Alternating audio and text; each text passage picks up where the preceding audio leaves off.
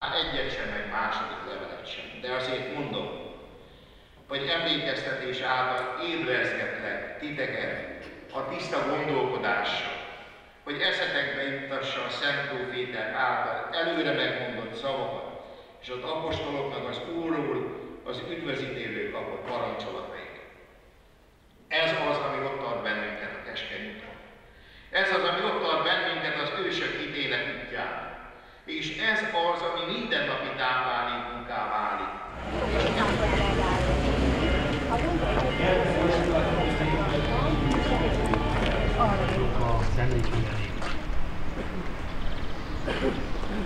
Ugyanis egy katonavárosnak a főterén állunk. Mire is értem ezt a katonavárost? Fegyverrel szereztük ezt a földet, ahol Bocskai vezérlőfejedelem letelepítette a mi elődeinket. Fegyverrel, nem békés úton, viszont ahogy lehetőséget kapott ez a közösség 1605-ben, néhány évtized alatt ebből az akkor pusztának tekintett területből úgy gondolom, hogy egy kis paradicsomot varázsolt, és ennek az eredményeit mái napig is mi kamatoztatjuk, mi élvezhetjük. Viszont az elmúlt évszázadok igencsak sok veszélyt, sok támadást, sok kihívást jelentettek a településnek.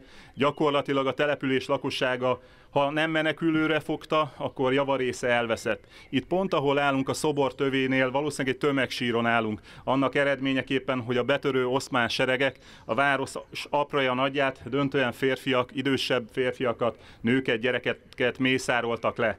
Viszont elődeink soha nem hagyták a települést, így mi késői utódok se tehetünk másképp. Sajnálatosan a 20. század meg annyi veszélye között Hajdunánásnak talán egy kicsit több is kiutott, mint amennyi feltétlenül szükséges lett volna még a háborúk ellenére is.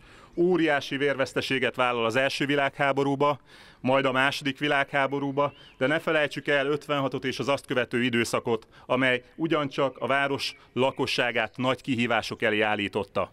Januárban jártunk itt a diákjainkkal, akkor a Doni hősökre emlékeztünk, egy picikét hidegebb volt, most pedig a nap melege süt ránk. Hősök napja van, és a magyar hősökre emlékezünk. Május hónap kiemelt fontosságú a Magyar Honvédség és a, má- és a hősök számára. Május 21-én ünnepeltük a Honvédelem napját, és alig egy hétre rá a hősök, magyar hősök napját. 1917-ben három éve tart a háború.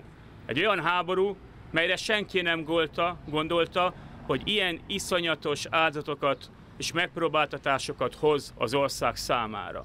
Az ország akkori vezetői már felvetették, hogy ez az áldozat, melyet honvédeink a hazánkért tettek életükkel, nem maradhat megemlékezés nélkül.